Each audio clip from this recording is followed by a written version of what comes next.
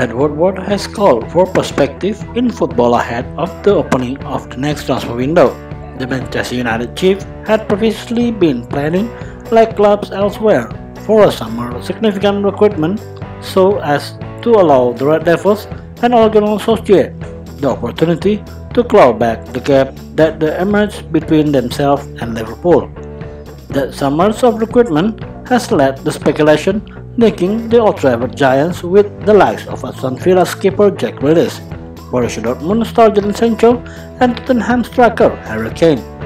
All of the names above and other targets who has been mentioned would set United back by millions of pounds in transfer fees. And there was an expectation that they'd become the first British club to spend 100 million pounds or more on a single player this summer. Grealish, captain of Villa and scorer of 9 goals this season, has been heavily linked with a move to United previously, though his focus currently will be and on ensuring Villa remain in the flop flight next term, provided the fixtures can be completed amid the coronavirus pandemic.